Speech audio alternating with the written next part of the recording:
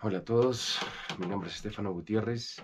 Gracias por esta invitación al sexto encuentro hispanoamericano de naturopatía.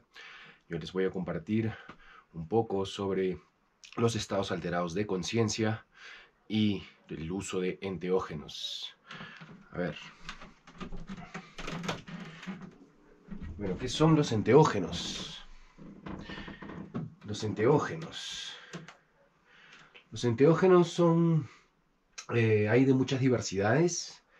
Eh, existen diferentes tipos de sustancias, ¿no? Son sustancias naturales eh, o sintéticas que causan un estado alterado de conciencia, Hay muchas formas, ¿no? Como pueden ver en semillas, hasta animales que contienen alcaloides que interactúan con nuestra biología, ¿no? a un nivel muy profundo que pueden restaurar nuestras células eh, existe la ayahuasca, están los hongos mágicos, los muy llamados hongos mágicos, está el peyote o, el San Pedro, aquí eh, se le conoce como guachuma también, ¿no? Eh, tenemos la hipomoea violácea, ¿no? Que es este que contiene LSA, como el famoso LSD, que viene también de un hongo, que es un hongo del centeno, para aquellos que no saben, ¿no? Entonces hay muchas formas. Esta es la Wilca, esta es una medicina de los incas, esta es la ayahuasca de los incas, la huilca. Pueden ver acá estas semillas. Bueno, los enteógenos son sustancias psicoactivas naturales o sintéticas que al ser ingeridas producen un estado alterado de conciencia con propósitos de conexión espiritual y ritualista. Enteógenos, en, dentro, teo, Dios, genos, de generar o crear. Es un puente al alma y a multiversos donde tu conciencia coexiste potente expansor de conciencia, purificador de cuerpo, libera nuestra mente y abre tu corazón, nos ayuda a entender el inconsciente, el consciente y el inconsciente colectivo, cura enfermedades y males terminales. Los enteógenos convive con el ser humano y se cree que fue el factor más importante dentro de nuestra evolución, desarrollo del cerebro y la conciencia. A ver, para abreviarles un poco en todo esto, eh, como ven, los enteógenos tienen muchos potenciales, ¿no? Eh, uno de ellos, como ven, es un puente para el alma, ¿no? A diferentes mundos dentro de nuestra conciencia, ¿no? Donde coexiste. Podemos acceder a, mundos donde están nuestros guías, mundos invisibles, ¿no? Donde están dioses, deidades, donde antiguas culturas han eh, descrito estas visiones que los enteógenos y estas plantas maestras nos brindan. ¿no? Es un potente expansor de conciencia porque nos damos cuenta, podemos darnos cuenta de muchas cosas que no estamos prestando atención, ¿no? Eh, nuestra mente, nuestro corazón, nuestras emociones, eh, la limpieza de nuestro cuerpo, ¿no? Por eso es un gran purificador del cuerpo. Estos enteógenos, algunos en específicos, pueden pues purgar el cuerpo, ¿no? No, no necesariamente de, de esta vida, sino de muchas vidas anteriores o traumas o, que nuestros antepasados, abuelos o tatarabuelos, pues han llevado y esto se impregna en nuestros genes, ¿no? Y, esto lo, lo, comienza a restaurar, ¿no? A guiar, a limpiar, a curar, a depurar, ¿no? Eh, libera nuestra mente y abre tu corazón, ¿no? Por supuesto, ¿no? Esto es, es eh, los enteógenos, bueno, en, un correcto uso, lo que hace es entrar a un, a un, a un eh, aspecto de la mente que está conectado a tu corazón, ¿no? Y ahí más adelante les voy a hablar de, que el corazón contiene, pues, circuitos que están conectados al cerebro, pero tenemos que acceder a esa, a esa conexión, ¿no? Nos ayuda a entender el inconsciente y el consciente, ¿no? Eso es, eh, y el colectivo, ¿no? Eh, eh, tenemos un consciente y un inconsciente, ¿verdad? Entonces, el colectivo es todo lo que se ha guardado en el espacio, ¿no? Por eso en el espacio, aquí en el espacio está guardada, hay bastante información guardada y eso lo habla la mecánica cuántica, ¿no? Hay bastante información de cómo uno puede acceder a información consciente, ¿no? en el espacio y también dentro de ti, en el inconsciente, ¿no? Eh, y hay muchas formas de liberar este, esta información que está ahí, ¿no? Eh, y también en el colectivo, como digo, ¿no?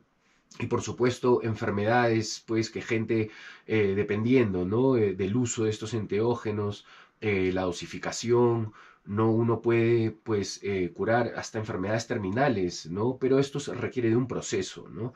no es que vas a tomarlo y por milagro vas a, vas a curarte sí puede ser, pero hay una ciencia también detrás de ese milagro, ¿no? Porque es el, placebo, en realidad es como el efecto eh, de fe, ¿no? Es lo que tú crees. Si tú crees eso, pues le das poder a la planta que lo haga, pero eh, también hay, hay, hay, gente que no tiene esa fe, ¿no? Eh, pero puede hacer uso de ella con, con, con, un proceso, ¿no? Es un proceso que, que, que necesita mucho mucha dirección, mucho respeto, ¿no? Eh, más que todo eh, conectar con el espíritu de esa planta, pero yo les recomiendo más eh, que, usen un guía, ¿no? Una persona preparada como yo, ¿no? Los enteógenos conviven con el ser humano, ¿no? Eso es, pues, se cree, ¿no? Hay teorías que, que, parte de nuestra evolución estas plantas han desarrollado nuevas conexiones en el cerebro, ¿no?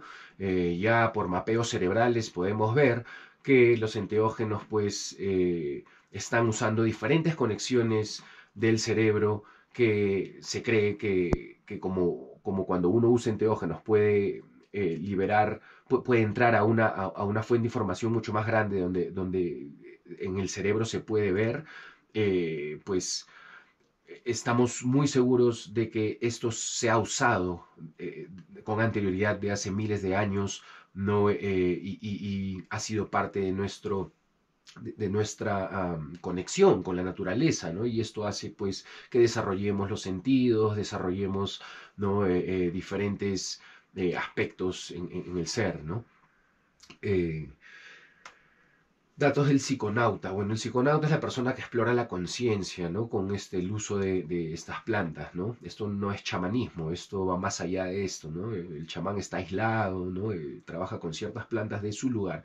Pero el psiconauta es un explorador de conciencia, ¿no? Explora eh, eh, con diferentes enteógenos, ¿no? que está dispuestos, pues, en, en la naturaleza, ¿no? Eh, los registros más antiguos con el uso de enteógenos data desde el Paleolítico, hasta mucho antes de la existencia del ser humano. En el caso de la psilocibina, por ejemplo, los hongos mágicos, ¿no? que han sobrevivido a cataclismos miles de millones de años, se cree que cada vez que respiramos estamos, pues, no se cree, se sabe, ¿no? Que, que, hay más de 10 esporas de hongos que estamos respirando, ¿no? Están acá impregnados en el espacio, ¿no? Flotando y son diminutos y minúsculos y pueden sobrevivir sin oxígeno. ¿No? Eso implica que eh, pueden estar en el espacio o vienen desde el, desde el espacio, desde el universo, ¿no? desde la galaxia, otras galaxias. Entonces, eh, ha estado allí estos hongos ¿no? Eh, y crecen en todas partes, ¿no? en, todo el mundo. ¿no? Por eso digo que se cree ¿no? que ha sido desde la existencia del ser humano hasta mucho antes. Se cree que el uso de enteógenos es, en la antigüedad fue el detonante para la evolución en la conciencia y el desarrollo del cerebro. Esto es una teoría, ¿no? Eh, que lo habla Terrence McCann, ¿no? Eh, él, le dice el mono dopado. Eh, bueno, si es que la teoría de Charles Darwin es correcta, que venimos de la evolución del Australopithecus, ¿no? Homo sapiens sapiens y todo esto, pues se cree que en ese punto el, el, hombre de las cavernas estaba tomando estas plantas y desarrollaba, pues, como digo, diferentes conexiones y evolucionaba su conciencia, ¿no? Eh, esa es una teoría, ¿no? como digo, pero puede ser. Parece ser que la naturaleza crea muchos mecanismos de defensa por la inconsciencia que tenemos sobre ella. Al tomar enteógenos estamos expandiendo la conciencia a tal punto de evolucionar con ella.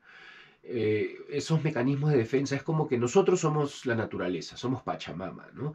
Eh, esto implica a que si tú te dañas o dañas la naturaleza con tu negocio o, cualquier tipo de empresas que están dañando la naturaleza, la naturaleza va a buscar su equilibrio y va a buscar cierto tipo de formas que ella va eh, eh, crear para que el ser humano pueda hacer uso de ellas, ¿no? Para curar el cuerpo, ¿no? Eh, plantas medicinales, para curar la mente, el alma, ¿no? Son, son, estamos hablando de plantas y enteógenos específicos, diversos, en todo el mundo, que está pues eh, tratando de defender, es una manera de defenderse, ¿no? para tomar conciencia de lo que uno hace con su vida, ¿no? entonces, esto es lo que hace, ¿no? Estos, estos eh, la naturaleza misma, ¿no? Por eso es un mecanismo de defensa, ¿no?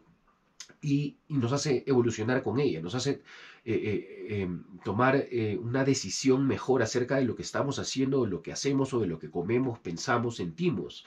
¿no? E, e, es, como una autoobservación, de, dependiendo de qué enteógenos, puedes autoobservarte de una manera muy, muy, muy profunda y ver estos, eh, qué, es la mente, qué es lo que guardo, qué emociones tengo, qué, qué traumas, etcétera, etcétera, ¿no? Eh, la supresión de estos enteógenos mediante los sistemas gubernamentales hace que la persona siga condicionada al mundo 3D, el cual se vuelven esclavos de ella a tal punto de enfermarlas. Es por eso que los sistemas ganan más dinero en guerras y personas enfermas. Esto es verdad, ¿no? Hay, hay muchas cosas pues que nos hacen preguntar, ¿no? Este, ¿por qué no eh, legalizan eh, ciertas sustancias de manera apropiada y responsable? para que haya ¿no? una, una, un mayor acceso a, la sanación, ¿no? Eh, un ejemplo, ¿no? Digamos, eh, no sé si han escuchado sobre el cambó, ¿no? La filomedusa bicolor, es una rana que te brinda una vacuna, ¿no? Esto lo usan las tribus de, de, Brasil, ¿no? en Acre, ¿no? Los Junicuin, ellos pues usan el cambó, también aquí en Perú, ¿no? Los matzés, usan el cambó para eh, poder sobrevivir en, el, en, la selva, ¿no? Eh, para que, porque ellos creen que si tú no tienes la vacuna del cambono, te puedes morir simplemente con una picadura de araña, con una serpiente o, algún insecto. Entonces, el cambón nos prepara el sistema inmunológico, tiene más de 140 neuropéptidos que hacen que nuestro sistema inmunológico sea mucho más fuerte y nada externo nos puede hacer daño, ¿no? Entonces, hay maneras, ¿no? Hay maneras sintéticas como naturales, ¿no? Pero nadie conoce sobre el cambó y el uso y, qué tiempo y cómo, ¿no? Entonces, hay, hay información que nos, suprimen, eh, ¿no? Eh, para que ganen más dinero con las farmacéuticas, ¿no? Donde hay